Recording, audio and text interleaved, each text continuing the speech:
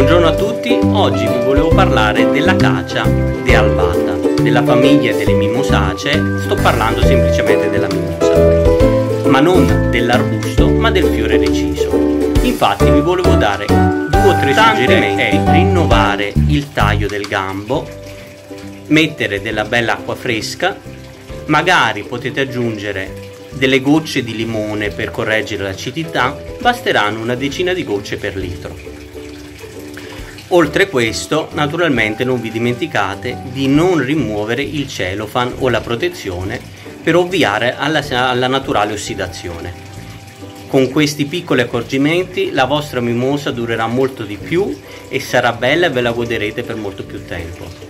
Vi aspettiamo in via Roma 19 a Montegrotto Terme per l'8 marzo. Mi raccomando, comprate presso di noi commercianti e nelle fiorerie specializzate. Grazie a tutti, a presto.